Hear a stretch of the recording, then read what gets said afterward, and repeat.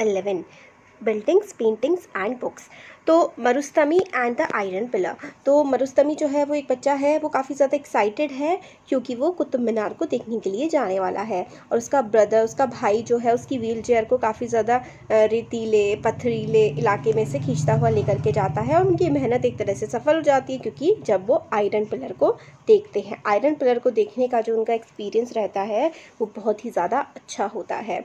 अब ये मेटोलॉजी वाला देखेंगे, पहले यहाँ देखते हैं। The iron pillar. Iron pillar जो है महरौली, दिल्ली में। दिल्ली में एक जगह है महरौली, वहाँ पर ये आयरन पिलर सिचुएटेड है। इंपॉर्टेंट चीज़ क्या है? इसकी हाइट हाइट बहुत ज़्यादा पूछ ली जाती है एग्ज़ाम में एम सी में कि हाइट कितनी है आयरन पिलर की? ये है सेवन पॉइंट टू मीटर और ये एग्ज़ाम्पल है कि हमारे देश के जो क्राफ्ट पर्सनस होते थे, वो कितनी ज़्यादा गज़ब की चीज़ें बना दिया करते थे। तो जो महरौली का आइलैंड पेरर है, वो 7.2 मीटर हाई है और वो बहुत ही खूबसूरत लगता है। लगभग आज से वो 1500 ईयर्स अगो बनाया गया था और उसकी जो डेट है, हम लोगों को पता लगती है क्योंकि उस पर इंस्क्रिप्शन है। इंस्क्रिप्शन का मतलब है महरौली का जो आयरन पिलर है ना, उस पर लिखा हुआ है कि वो किसने बनवाया है। किसने बनवाया है? वो चंद्र ने बनवाया है। तो हम मान लेते हैं कि शायद वो चंद्रगुप्त जो थे, गुप्ता डायनेस्टी के उन्होंने बनवाया होगा, जिन्होंने, जिनके बारे में, चंद्रगुप्त के बारे में हमने पिछले चैप्टर में पढ़ा था ना। और काफ़ी ज़्यादा अमेजिंग बात ये है कि आयरन का बना हुआ है। और आप सबको पता है कि आयरन में तो जंग लग जाता है, लोहे में लग जाता है जंग।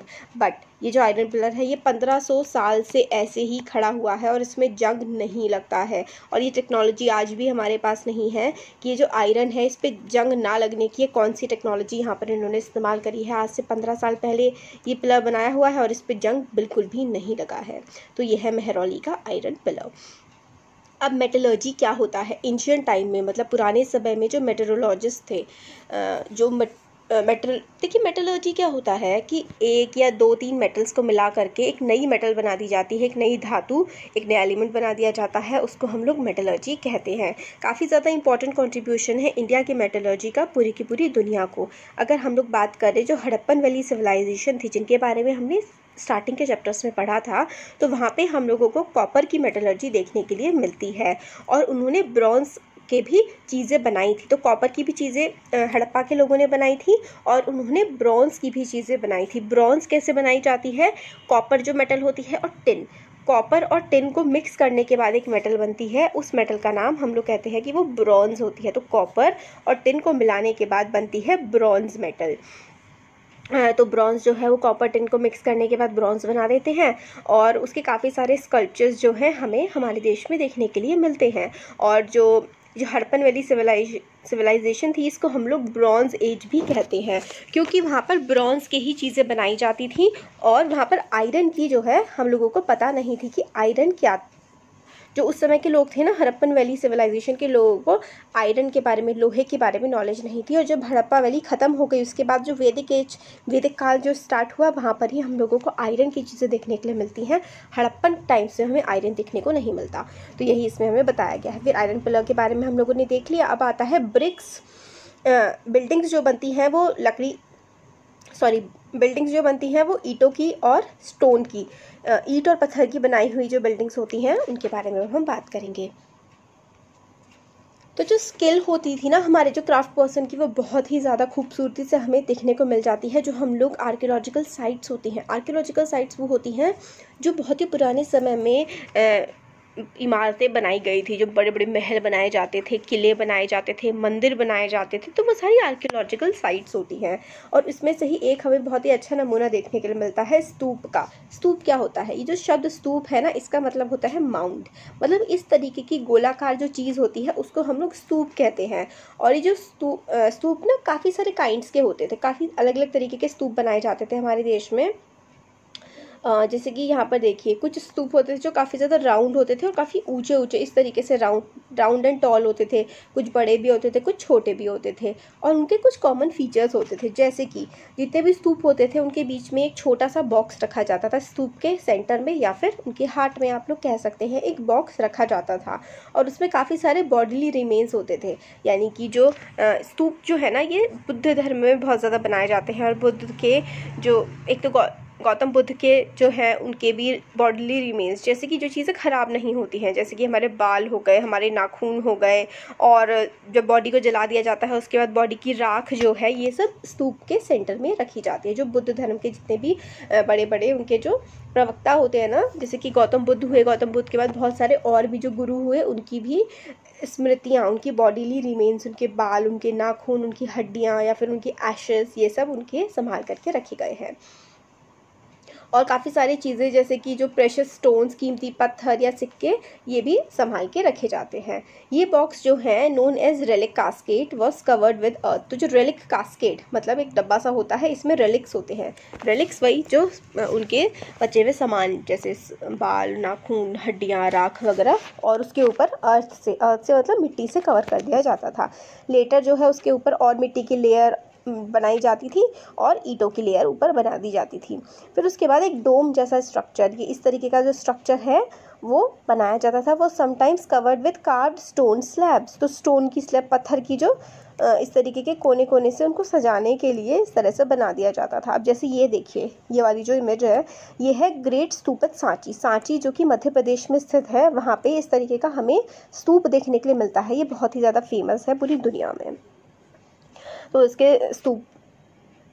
तो इसमें हमें बताया गया है कि ये जो मड वाला, मड का माउंट होता है, जैसे कि नीचे मिट्टी होती है, फिर उसके ऊपर स्टोन होती है, फिर ब्रिक्स लगवा देते हैं तो ऐसा माना जाता है कि वैसे स्टार्टिंग में ये अशोक ने बनवाया था, फिर इसके बाद इसमें एडिशंस होते रहे, और राजाओं ने, किसी ने इसमें पत्थर लगवा दिया, किसी ने इसमें सीढ़ियाँ बनवा दी जाने के लिए तो इस तरीके की चीज़ें, फिर लेफ़्ट में स्कल्पचर फ्रॉम अमरावती स्कल्पचर्स ये जो मूर्तियाँ वगैरह होती हैं, और कुछ इमेजेस वगैरह, जैसे कि हम लोगों को देखने के लिए मिलती हैं, ये स्कल्पचर्स होते हैं। तो इसमें यही बताया गया है कि कुछ जो होते हैं, किनारे पे जो चल, जैसे कि ये ना, ऐसे करके मोल्ड है। तो इसके रास्ते में किनारे किनारे किनारे किनारे चलने के लिए जो पाथ होता है ना, जो रास्ता होता है, उसको हम लोग प्रदक्षिणा पथ कहते हैं। तो often a path known as pradakshina patha was laid around the stupa stupa के चारों तरफ़ के आप लोग उसमें चक्कर लगा सकें, प्रदक्षिणा पथ होता है। प्रदक्षिणा करने का मतलब होता है चक्कर लगाना। पथ का मतलब होता है रास्ता। इंग्लिश में पथ से ही पाथ बना है है ना? तो जो पाथ होता है पथ, प्रदक्षिणा पथ के चारों तरफ़ चक्कर लगाया जाता है और वो सूप के चारों तरफ़ बनाया जाता है और उसके किनारे किनारे देखिए रेलिंग्स भी होती है ताकि उसमें आराम से पकड़ के चला जा सके। एंट्रेंस जो होती है ना, वो आगे का जो रास्ता होता है, ये देखिए यहाँ पर, ये एंट्रेंस है, इस ये यहाँ पर ये रास्ता है, इस रास्ते से जाइए, फिर आप इसके चारों तरफ़ चक्कर लगा सकते हैं स्तूप के चारों तरफ़। तो डिवोटीज़ जो होते हैं, वो स्तूप के चारों तरफ़ क्लॉक वाइज डायरेक्शन में चक्कर लगाते हैं और उनकी रेलिंग्स और गेटवेज जो हैं डेकोरेटेड होते हैं, काफ़ी ज़्यादा विज करते हैं अलग अलग मूर्तियाँ वगैरह बनी होती हैं और पेंटिंग्स वगैरह बनी रहती हैं इनकी दीवारों पर। ये देखिए कितनी खूबसूरत सी पेंटिंग्स वगैरह नहीं बनी हुई हैं। अमरावती जो है पेज नंबर अमरावती जगह है तो वहाँ पर आप लोगों को काफ़ी सारे मैग्निफिसेंट स्टूपा एक टाइम पर हुआ करते थे। टाइम के साथ साथ जो है दो हज़ार साल पहले जो स्तूप बने होंगे मिट्टी के तो वो तो ख़त्म हो ही जाते हैं। तो वो बिल्डिंग्स जो हैं उस टाइम के साथ साथ थोड़ी ख़राब भी होने लगती हैं। Other buildings were hollowed out of rock to make artificial caves तो कई सारी बिल्डिंग्स जो होती है ना, वो पहाड़ों को क्या करते हैं? जैसे कि ये सपोज़ करिए पूरा एक पहाड़ है। इस पहाड़ में बीच बीच इसको खोखला कर देते हैं बीच बीच बीच बीच से। और फिर क्या हो जाती है? गुफाएँ सी बन जाती हैं। Some of these were very elaborately decorated with sculptures and painted walls तो ये जो कुछ पत्थरों को काट काट करके जो गुफाएँ बनाई हुई है ना, कुछ को तो बहुत ही ज़्यादा खूबसूरती से डेकोरेट भी किया गया है। कुछ जो अर्ली पुराने हिंदू टेम्पल्स मिलते हैं ना, इस समय पर जो 2000 साल पहले या फिर 1500 साल पहले जो बनाए गए थे ना, वो किस किस के लिए? विष्णु के लिए, शिव के लिए, दुर्गा के लिए उनकी वर्शिप की जाती थी। जैसे कि पहाड़ियों को काटा, गुफाएँ बनाई, उसमें गुफाओं में मंदिर हमें देखने के लिए मिल जाते थे। काफ़ी ज़्यादा इंपॉर्टेंट पार्ट जो होता था ना पुराने ज़माने में टेंपल का, उसको हम लोग गर्भगृह कहते थे। गर्भगृह जो इलाज जैसे कि ये टेंपल है, सपोज़ करिए, ये टेंपल है। इस टेंपल का जो बीच वाला पार्ट होगा ना, सेंटर वाला पार्ट, जहाँ पर सारे के सारे भगवानों की मूर्तियाँ रखी होंगी, उस वाले पार्ट को हम लोग गर्भगृह कहते हैं, जहाँ पर भगवान की मूर्ति हमें मिलती है। Where the chief image of chief deity was placed मतलब जैसे कि ऐसा है। ये भगवान शिव का मंदिर है। बट शिव भगवान के अलावा बाकी भगवान की भी मूर्तियाँ होंगी। तो जो गर्भगृह बीच जो सेंटर वाला बिल्कुल पार्ट होगा ना गर्भगृह, वहाँ पर शिव जी की मूर्ति रखी होगी। बाकी बाकी दूसरे डेटी की इनके आसपास रखी होगी। डेटी का मतलब होता है भगवान। और यहीं पर जो प्रीस्ट होते हैं, पंडित, वो सारी पूजा वगैरह करते हैं। तो अपन ज़्यादातर, जैसे कि भीतर गाँव भीतर गाँव एक जगह है उत्तर प्रदेश में। तो ये काफ़ी पुराना टेंपल हम लोगों को देखने के लिए मिलता है उत्तर प्रदेश के भीतर गाँव में। तो तो गर्भगृह हम लोग को बताया था ना आपको अभी थोड़ी देर पहले जहाँ पर भगवान होते थे, उसके ऊपर ना एक इस तरीके का स्ट्रक्चर ऊँचा सा बना दिया जाता था। इस स्ट्रक्चर को हम लोग क्या कहते थे? शिखर कहते थे। बहुत ज़्यादा अच्छे से प्लानिंग होती थी और बहुत ही ऊँचे ऊँचे, खूबसूरत खूबसूरत खूबसूरत से शिखर जो है, मंदिरों में बनाए जाते थे। और most temples had a space known as mandapa it was the hall where people को असेंबल तो देखिए, ऐसा होता था, जैसे कि सपोज़ करिए, ये मंदिर है एक। मंदिर में, ये मंदिर में जाने का रास्ता है। तो मंदिर में अंदर जाते जाते जो अंदर जाने वाला रास्ता होता है ना, जहाँ पर भक्त लोग खड़े हो सकते हैं पूजा अर्चना के लिए, उस रास्ते को, उस जगह को कहा जाता था मंडप। मतलब जैसे कि यहाँ पर गर्भगृह है, इसकी तरफ़ को रास्ता जो जाता था ना, उसको मंडप कहा जाता था। जहाँ पे लोग इकट्ठा हो सकते थे, महाबलीपुरम और अहोल जो है, आप लोग page number one hundred five अपनी बुक में खोल लीजिए वहाँ पर आप लोगों को महाबलीपुरम और अहोल ये साउथ में आपको मिलेंगे। महाबलीपुरम और अहोल में ना बहुत ही खूबसूरत मंदिर हमें देखने के लिए मिल जाते हैं उस समय के। जैसे कि यहाँ पर देखिए जो इधर ये वाला, ये जो है ना, ये महाबलीपुरम के मंदिर है। इसमें क्या हुआ है ना कि एक चट्टान थी बड़ी सी, उस चट्टान को कुरेद कुरेद के और उसमें कार्विंग कर कर के कार्विंग होती है कुरेद कुरेद के, ये सारे के सारे मंदिर बनाए गए हैं। ये एक चट्टान से बनाए हुए हैं मतलब एक ही तरीके का पत्थर था, उससे बनाए हुए हैं ये। तो काफ़ी ज़्यादा ये फ़ेमस है। यहाँ पर ये लिखा हुआ है कि कार है, बहुत ही बड़ी सिंगल पीस स्टोन था, उससे ये सारे के सारे पत्थर से ही मंदिर बनाए गए हैं। इसलिए इन लोगों को हम क्या कहते हैं? मोनोलिथ कहते हैं। देखिए, मोनो का मतलब होता है वन। मोनो जो है, मोनो का मतलब वन होता है। लिथ लिथ जो है, इसका मतलब होता है पत्थर। तो मोनोलिथ मोनोलिथ यानी कि एक ही पत्थर से बनाए हुए मंदिर। ये जो हमें महाबलीपुरम में मंदिर मिलते हैं, ये मोनोलिथ्स ये हमें देखने के लिए मिलते हैं। और ये one of the finest temple है। पूरी दुनिया में मतलब बहुत ज़्यादा माना जाता है इनको। और बहुत ही खूबसूरत इनकी पेंटिंग देखने के लिए हमें मिलती है। पेंटिंग क्या? मतलब बहुत ही खूबसूरत होते हैं देखने में। बहुत ही अच्छे से इनको बनाया गया है। आई होल के बारे में भी बताया जाता है। तो आई होल टेंपल है। दुर्गा जी का गॉडेस दुर्गा का टेंपल है, जो लगभग आज से चौदह सौ साल पहले बनाया गया था। अब ये जो स्तूप थे, ये किस तरीके से बनाए जाते थे। How were stupas and temples built जो स्तूप थे और टेम्पल्स थे, इन स्तूप्स और टेम्पल्स को बनाया कैसे जाता था? तो सेवरल स्टेजेस होती थी कि किस तरीके से हम लोग बिल्डिंग में बिल्डिंग का स्तूप और अ टेंपल टेंपल या स्तूप बनाने के काफ़ी सारे स्टेप्स होते हैं। यूजुअली जो किंग्स होते थे क्वींस होते थे, वो डिसाइड करते थे कि वो बहुत ही जनरली जो किंग्स होते थे ना, वो बहुत ज़्यादा पैसा लगाया करते थे मंदिरों को बनवाने में, क्योंकि मंदिर जो है ना, उनकी शान का एक प्रतीक होता था। राजा जितना ज़्यादा पावरफुल है, जितना ज़्यादा ताकतवर राजा होता था, वो उतने ही बड़े और खूबसूरत मंदिर बनवाया करता था। तो इसलिए उसके लिए कई सारे स्टेप्स होते थे। सबसे पहले क्या होता था कि बहुत ही अच्छी क्वालिटी का पत्थर उनको मंगवाना होता था। Quarried and transported to the place that was often carefully chosen for the new building तो नई जो बिल्डिंग जो मंदिर या कोई भी जो स्ट्रक्चर राजा के द्वारा बनवाया जाता था, उसके लिए सबसे पहले एक जगह खोजी जाती थी जो खूब बड़ी हो और बढ़िया जगह हो। फिर जो पत्थर चुने जाते थे, उनको लाया जाता था उस जगह पर। और फिर रफ ब्लॉक्स ऑफ़ स्टोन होते थे, फिर उनको शेप दी जाती थी। मतलब बड़े बड़े पत्थर होते थे, उनकी कार्विंग करके उनसे जो है पिलर्स बनाए जाते थे, उनसे बहुत सारी चीज़ें वॉल्स के पैनल्स उनसे दीवारें बनाई जाती थी, फर्श बनाया जाता था, सीलिंग, छत बनाई जाती थी और बहुत ही अच्छे से ये काम किया जाता था। तो यहाँ पे ये देखिए, जैन टेंपल है, जैन मोनेस्ट्री है। मोनेस्ट्री वो होते थे रहने की जगह, जहाँ पर ये जो जैन संत वगैरह हुआ करते थे ना, ये इन जगहों पर रहा करते थे, मोनेस्ट्रीज में इनके रहने की जगह होती थी। तो मोनेस्ट्रीज़ में ये लोग रहा करते थे और ये जो है, देखिए टू स्टोरीज बिल्डिंग है। नीचे है और ऊपर दो स्टोरी की बिल्डिंग है और इसको क्या हुआ है वो scooped out of rock structure तो एक पत्थर में से इसको ये बनाया हुआ है काट काट के। आप एंट्रेंस को देखिए रूम्स और जैन मोंग्स यहाँ पर रहते थे मेडिटेट किया करते थे। और ये हमारी केव्स हैं। इस, ये पहले से अलग कैसे है पहले वाले जो है वो मंदिर थे और ये क्या है, ये रहने की जगह है। किंग्स एंड क्वींस जो है वो काफ़ी ज़्यादा पैसा अपनी ट्रेजरी में से ट्रेजरी हो जा, होता है खजाना, अपने खजाने से बहुत ज़्यादा पैसा किंग्स एंड क्वींस स्पेंड किया करते होंगे क्राफ्ट क्राफ्टमैन स्टाफ पर्सन को पे करने के लिए स्प्लेंडेड बड़ी खूबसूरत स्ट्रक्चर्स उन लोगों ने बनवा रखे हैं। Besides when devotees came to visit the temple or the stupa they often bought gifts which were used to decorate the temples. तो जब डिवोटीज़ डिवोटीज़ यानी कि श्रद्धालु, जब श्रद्धालु जाते हैं मंदिरों में तो कुछ ना कुछ पैसे चढ़ा के आते हैं या कई बार मूर्तियाँ दान करके जाते हैं या कुछ भी।